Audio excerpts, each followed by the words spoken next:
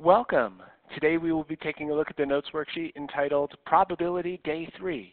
This is where we get to see a variation of probability that coincides with the binomial theorem. So let's go ahead and do an investigation to get us thinking about it, and then uh, we'll go ahead and put a few things together.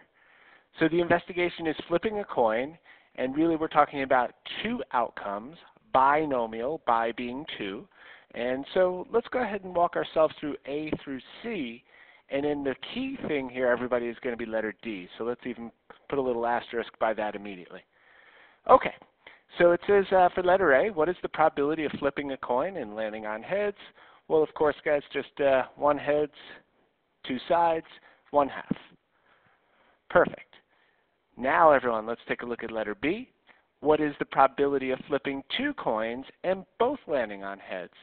So this is the probability of getting heads on the first coin and probability of getting heads on the second coin. And means multiply. So we would do this as 1 half times 1 half. And I'll just write a few things down here to get us thinking about it in a couple different directions. But basically that would be 1 half squared. And of course then that probability is going to be 1 fourth. So the probability that the first coin is heads times the probability that the second coin is heads. All right, very nicely done. Now letter C. Let's up the ante a little bit more here. It says, what is the probability of flipping three coins and all landing on heads? So if I kind of look at it, the probability of the first coin landing on heads is 1 half. And the probability of the second one being heads, so and being multiply, 1 half. And of course then the probability that the third coin, coin lands on heads, that would be 1 half. And again, I'll go ahead and just represent that in a slightly different way as we will see this variation emerge in a little while here. So hope everybody would be in agreement. That would be 1 half to the third in this case. And so the probability that three coins go up and they all land on heads would be 1 out of 8. All right. So we have that scenario taken care of. Obviously, I can continue this. Um, you know, one coin, two coins, three coins, all heads. But now let's go ahead and take a look at a different type of outcome and see what, um, see what we want to do with it. So letter D. It says, what is the probability of flipping three coins and two landing on heads here? All right, so first of all, notice what I wrote off to the side there. We're going to have to be a little careful about this. So rather than just kind of looking at it as, all right, three coins, two landing on heads, and thinking about, okay, what's the probability of getting a heads, and then probability of getting a heads, and then probability of getting tails, because that would be two heads and, and one tails, um, we have to think about it in a slightly different context. So guys, I broke it down just a little bit with a few probing questions here. Let's see if we can put this together now. So here's the key in how many ways can two heads actually occur on the three coins? This is the main difference between letter D and then especially letters B and C from above. So how many ways can two heads occur on the three coins? Well, we have seen this before, and if you remember, we thought of this as a combination. So three coins, how many ways can we get two heads from three coins? This is going to be 3C2. So if you remember that piece, we kind of looked at this exact situation before. Two heads and three coins. And we'll go ahead and list those momentarily just so you can really see it in action. But let me go ahead and get that going from up here. So 3C2. And if you notice, 3C2 is 3. So at this point, basically what this is saying is there are different ways that you can get this outcome. In fact, there are three different ways that you can get this outcome. Okay, well let's list them just so you, if you're not convinced about this situation right here, um, let's go ahead and list them. So you can get heads on the first coin, heads on the second coin, and tails on the third coin. That would be one way that this can occur. What's another way that you can get two heads on three coins? Well, you can get heads on the first coin, tails on the second coin, and heads on the third coin. That's a second way. What's the third way that this can occur? Well, you can get tails on the first coin, heads on the second, and heads on the third. And so if you look at it here, everyone, there are three different ways that this outcome can occur. And so as a result, it's not quite as simple as just taking the probability of one thing happening times the probability of another times the probability of another because there are multiple ways that those probabilities can occur. Okay, so let's go into that next piece of course. Um, first and foremost, it just says each way has a probability of, and I guess this is where we want to kind of talk about it up here. This would be this piece, everybody. So each way has a probability of 1 half times 1 half times 1 half. However we slice it here, everyone, the probability of getting two heads and, and one tails, just one way that we can do that. Well, guys, probability of getting a heads is 1 half. Probability of getting another heads is 1 half. Probability of getting a tails is 1 half. So each way is going to be 1 half to the third. Okay. So now we answer the original question.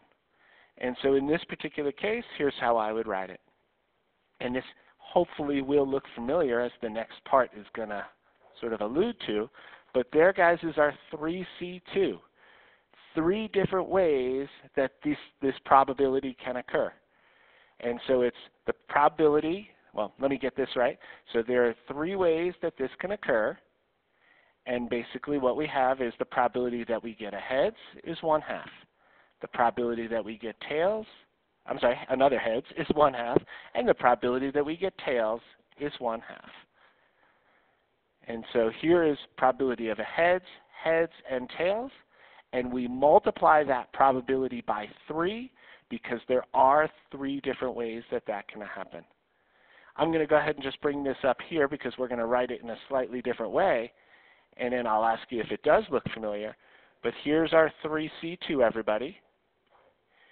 Here would be the probability of getting our two heads, and here's the probability of getting tails. And guys, look at that formation right there. We have this coefficient, so to speak, out in front, the number of ways something can happen. Then we have one probability raised to a particular power, and a second probability also raised to a particular power. Well, guys, does that look familiar? And I'm hoping that it that you see that it does if you kind of remember the binomial theorem. Each term in a binomial expansion has this piece right here, our little uh, NCR right out in front right here, and then one term raised to a power and a second term raised to a power. And this is what is called binomial distribution. And that's exactly the variation of probability that we're going to take a look at here today. All right, so if you're still not convinced on this, that's okay. Don't worry about it. But the idea being is there are different ways that this outcome can occur. So what we would do is take the probabilities, like we have been doing, one times the other times the other, but then we have to multiply that by the number of ways that it can happen. And that was this piece out here. Okay. Well, let's give it a try to, well, actually, let me just define one or two things quickly here, and then we'll go ahead and uh, do a couple calculations. So at the top of uh, my board, it says binomial distribution and probability occurs. And here's what you're going to write in there for me, please. When there are, and this shouldn't be a shocker, two outcomes. And the way we're going to refer to these outcomes, everybody, would be success and failure. And we'll kind of describe that as we go through the process there, of course. So when there are two outcomes, success and failure, and very simply the terms in a binomial expansion, and that's the idea, guys. We're finally seeing a, a nice application of the binomial theorem. In this case, it goes with the probability. So in a binomial expansion, so those terms give the respective probabilities. All right, so make sure you get this piece down for me if you would. And then again, we'll take a look at, I think I've got three examples for you. So in this case, probabilities of you know, zero successes, one success, two success, all the way up to n successes. All right, so if that looks like a whole bunch of verbal jargon at this point, that's all right. Kind of jot it in there, and then we'll go ahead and take a look at it in action. All right, so I have an example one that just really is, is very basic to start it out here. And uh, we'll go ahead and do it a couple different ways, and then we'll go ahead and do examples two and three that uh, should hopefully solidify some of these ideas. All right, guys, let's take a look at example one. It says determine the probability of flipping six coins and having four land on heads. Calculate your answer in two different ways. All right, so we, we've done a problem just like this before, and there is probably a, a more straight up approach to this, and so I'm going to start with that piece. But then we'll go ahead and do the binomial expansion version in just a little bit.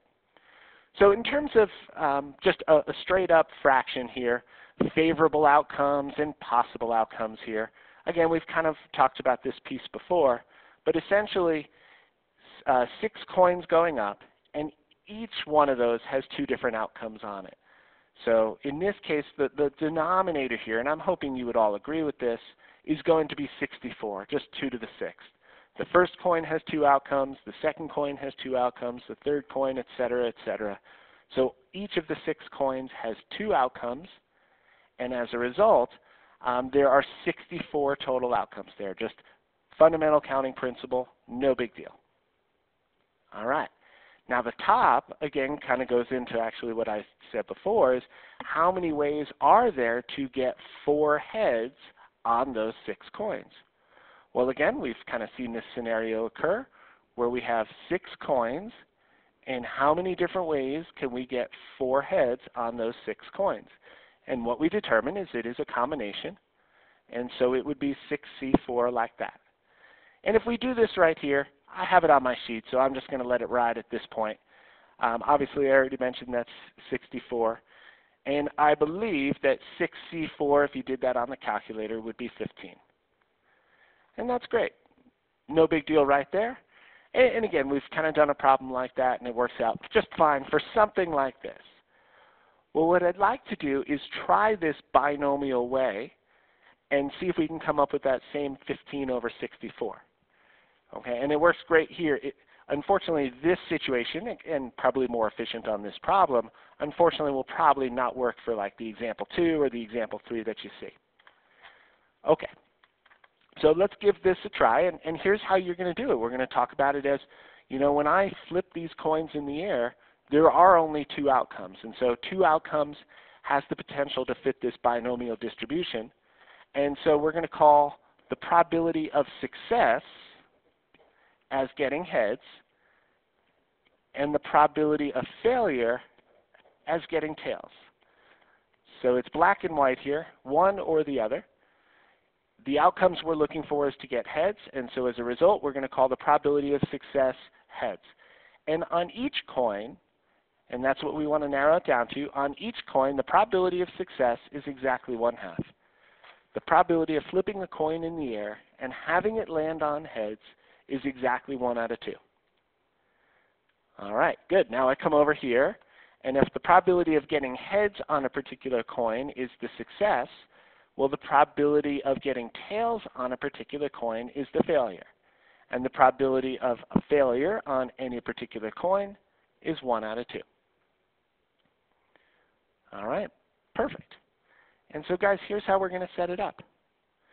So basically, we want four heads and two tails. I hope everybody agrees with that. In order for this to occur, if you read the problem, determine the probability of flipping six coins and having four land on heads. So what that means is when the six coins go up, four land on heads and two land on tails.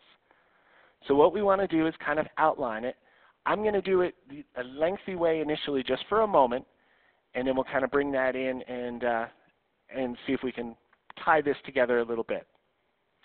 Okay, well guys, what is the probability that each coin lands on heads? What's the probability of success?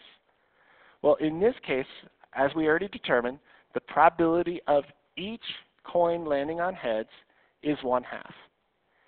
And to answer this problem, we need four of those, right? We need four landing on heads. So that would be the probability of one coin landing on heads and another coin landing on heads and another and another. So I hope you would agree it would be 1 half times 1 half times 1 half times 1 half. That would be for the probability of getting four heads. Okay, good.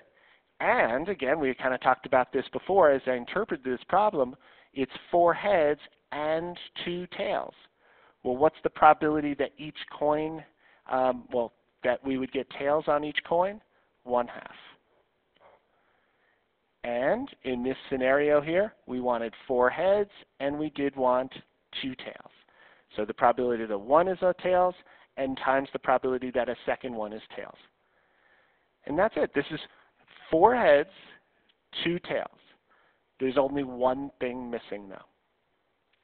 There are different ways that we can get four heads and two tails when those six coins go up you know, for example, um, you know, as, as I kind of look at it in order, maybe the first four can be heads, maybe the last four can be heads, maybe they vary through uh, throughout the, the six coins. There are different ways that we can get four heads on six coins. And guys, that's that piece right up here. How many ways can we get four heads from six coins? And the notation that we saw when we did the binomial theorem is that right there. And so what you end up having is coefficient, and then of course 1 raised to a particular power, and then a second probability raised to a particular power. Okay, and that's how it's going to play out. So if I go ahead and do this piece, and I think I'll play it all out on the calculator there. And let's just see this in action. So uh, 6C4, I guess now I can actually make sure that I had that right from before. I said it was 15. So there we go. There's your 6C4. And then times 1 half raised to the fourth. And then times, of course, 1 half raised to the second. And I get that decimal right there. And if you know, we go ahead and let's actually do this, just kind of thinking about it. Let's turn that into a fraction and there's our 15 over 64. Excellent. So you see, nice little binomial distribution. And you know, this calculation right here, if you really look at it, and it shouldn't be a great shock, is this calculation right over here. Here's your 2 to the 6th down on the bottom, by the way, and 1 to the 6th on top. And then here's your 6C4 multiplied in. All right, so this is going to be the format. This is what you're going to see two probabilities, one success, one failure. So we take the probability of success raised to however many times we want to see it, times the probability of failure raised to however many times we need to see it. But there are different ways that we can get those outcomes, and so we multiply it by the number of ways we can get it. All right, let's go for it. Example 2. Todd Helton's career batting average is 327. What this means, everybody, is for every thousand at-bats, he gets a hit 327 times. That's what this means right here. This point three, uh, 327 is really 327 out of a 1,000. In a game where he has five official at-bats, what is the probability that he gets two hits? All right, beautiful. So let's go ahead and talk about this piece right here, success, failure. Either he's going to be successful and get a hit, or he's going to fail and not get a hit. So in this case, one or the other. There's no other option here. So probability of success, according to his statistics, would be 0.327. Every time he steps up, there is a 0.327 probability that he gets a hit, that he has success, so to speak. Okay, which means, of course, if that's the probability of success, then the probability of failure would be what we would call the complement. And so that would be a 0.673. This would be kind of a 32.7% chance, if you like that representation better. And so the probability of failure then would be 67.3%. Okay, one or the other. All right, so we get those two pieces going. And now what we want to do is, is talk about our our probability of five at-bats, so let's just see. Here we go, five at-bats, and essentially two successes. All right, so let's kind of talk about this. What we want is success, success, failure, failure, and failure. So two successes and three failures. And so what is the probability that each time he steps up is success? So guys, 0.327. How many successes do we want in this particular probability problem? We want two successes. And so we raise it to the second power. So probability of getting a hit times the probability of getting a hit. All right. Now in order for this to occur, five at-bats and two hits, what that means, of course, is that he has two hits, but he also has three outs, three failures, so to speak. And so what's the probability that he fails in his at-bat? 0.673. How many failures would we see for this particular probability problem? We would see three. So this would be probability of getting an out times the probability of getting an out times the probability of getting an out. And as a result, as you can see right here, that would be raised to the third. And that looks beautiful. Sorry for being redundant, but there's only one thing missing. And the one thing that's missing is there are different ways that this can occur. There are different ways that he can get two hits in five at-bats. He can get uh, two hits the first time around, the second time around. Or he can get two hits maybe the last two times at bat, or the first and the last. I mean, again, there are different ways that that can occur. Well, how many ways does that occur? Five at bats, everybody. Two hits. 5C2. And so this, and you could see that binomial theorem perfectly formed right here. Here's our coefficient, the number of ways that this can occur, and then times the individual probabilities raised to their appropriate power. So let's go ahead and take a look. And so I get 5C2. I've got that one as 10. So if it's okay with you, I'm just going to go ahead and put in a 10 right there. So 10 times 0.327 raised to the second and times, what do we say there, 0.673 and that's going to be raised to the third. And there you go. So in any particular game, the probability that he has five official at-bats and two hits would be about a 32.6% chance. And that's what I'm going to write right here. 0.32, I think I saw 5.9 on that, so I'll stick with it. Okay. Not too bad. Not too bad at all. Let's go ahead and try one more good one. So example three, in the game of roulette, in, there are 38 spaces on a spinning wheel. If you uh, don't know roulette, maybe just do a quick Google on it just so you can get a visual of this, and then come on back. Otherwise, uh, let's just go ahead and let it ride here. But if you can visualize the, the spinning wheel here, there are 18 red spaces, 18 black spaces, and two green spaces. So my understanding is it should be 1 through 36, and um, 18 of those are odd, and 18, I'm sorry, 18 of those are red, and 18 of those are black. And then two greens, 0 and double 0. So again, 38 spaces, 1 through 36, and then 0 and double 0. So you're going to play conservatively, and what you can bet on, you know, there are obviously a ton of different variations of betting on roulette, but let's just go with the basic here. You're going to play conservatively, conservatively, excuse me, and bet on either red or black for 10 spins. Okay, good. So 10 straight up, you're going to do either red or black. And so let's talk about probability of success and the probability of failure. Now this is where Vegas gets you, of course, or how the uh, odds of this game are in the house's favor and not yours. The probability of success is actually not one half, even though that's how it's paid out. So the probability of, of winning is actually less than one half if you do it this way every time you spin the wheel. Because the probability would be if you do red, there are 18 reds, and again, if you do black, there are 18 blacks. You choose one of those, there are 18 favorable outcomes, but there are 38 outcomes on the, the wheel.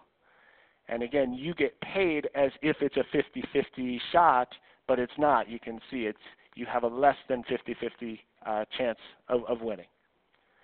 Okay, so anyway, the probability of success, 18 out of 38.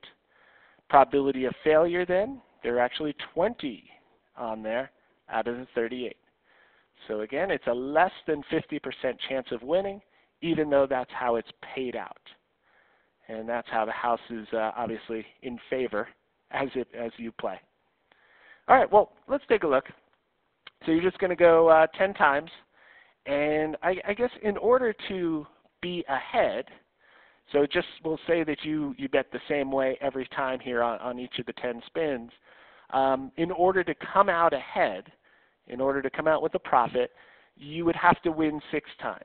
If you win five, again, theoretically, just um, you break even. So in order to come out ahead, you'd have to win six times. And so let's see what would what would be the probability of you winning six times. All right. So we have success, we have failure, and let's take a look at what's going on. So six successes and four failures. The probability of success is 18 out of 38. And we want success to occur six times out of the 10. So that would be the probability of success times the probability of success, et cetera, et cetera, for six times. All right. Now, in order for this to occur, in order to, for you to win six times, you have to lose four times. So the probability of failure is, is 20 out of 38, and this would occur four times. All right, beautiful. And that looks great. Six successes, four failures. We multiply the individual probabilities all the way across, and that looks really, really nice. The only thing that's missing, of course, is our number of ways that we can actually win six times out of 10. There are a variety of ways that that can occur, and of course, we do 10, C6. And there's your binomial distribution right there. And so let's go ahead and put that together. I'm going to go ahead and grab my calculator here and do the calculation. So I do 10, and let's go C6. I'll get an answer on that. So 210, and then I'm going to multiply that times. So the probability of success we said was 18 out of 38. And if we want six successes, um, we raise it to the sixth. And then, of course, times. And next thing, probability of failure. Uh, let me make sure I've got that right here. Is 20 divided by 38 and we would like four failures in this case, and there you go. So if you kind of look at this, what is the probability that you win exactly six times? And this would be kind of the first scenario where you would actually be able to gain a profit. It's only an 18% chance that you would win exactly six times. Okay, very nice. There's your binomial distribution in action. Now let's really see the binomial theorem one last time. So this was a little misleading. If you win six times, yeah, you've, you've gained a profit. You've won. You've beaten the house. But actually, if you kind of think about it, there are more ways that you can get a profit here, and that's this last piece. Really, you will come out ahead if you win at least six times.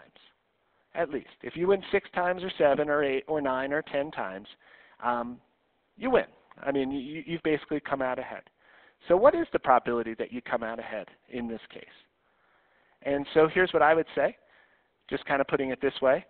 This would be the probability of six wins, or, or means add, probability of seven wins, or, again, you can win eight times, so what's the probability of winning eight times?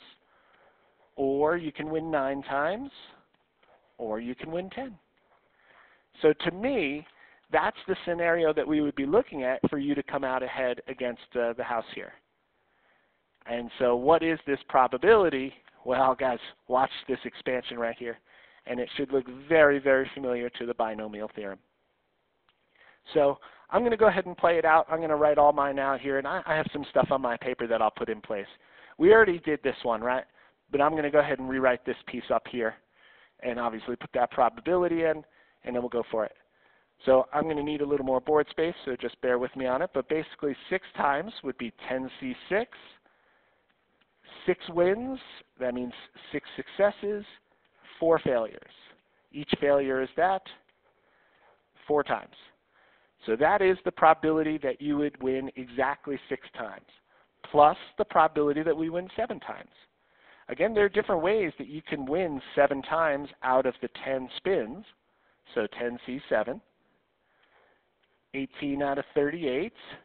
Now, guys, raised to the seventh because that would be seven successes and three failures.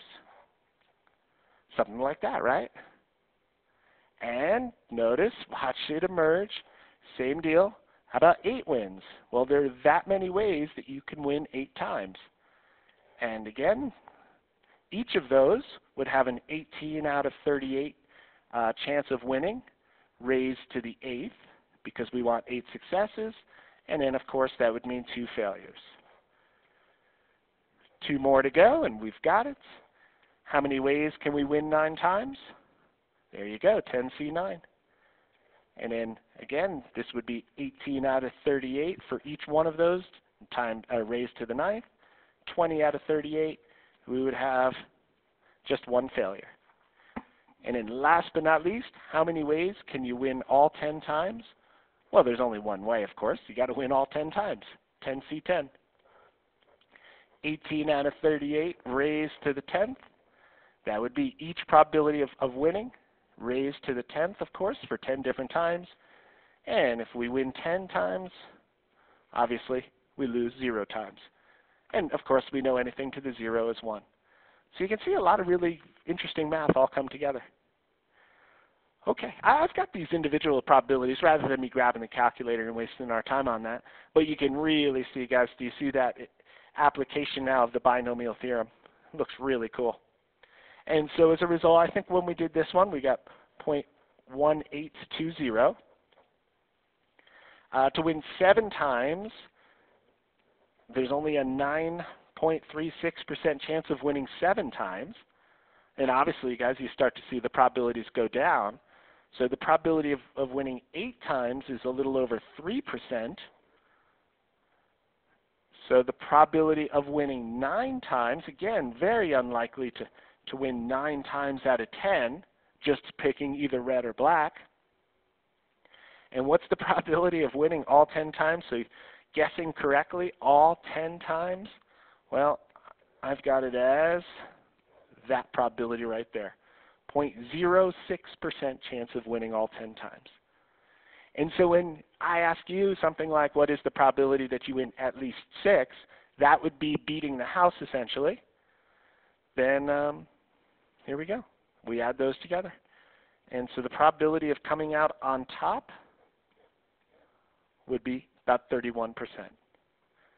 So you could see the probability of being even or um, being down is obviously quite a bit greater. All right. Cool. Again, just an interesting variation. Uh, you know, the binomial theorem is definitely one of the more um, theoretical uh, discussions that we have, and so at least this is an interesting application of, of that binomial theorem within the context of probability. So try a couple out, see what you think. Hopefully I kind of laid out that investigation for you in a decent way, and then you can really see those terms in action. Kind of cool. All right, well again, when you try them out, let me know if something comes up, of course. Thanks for listening to it.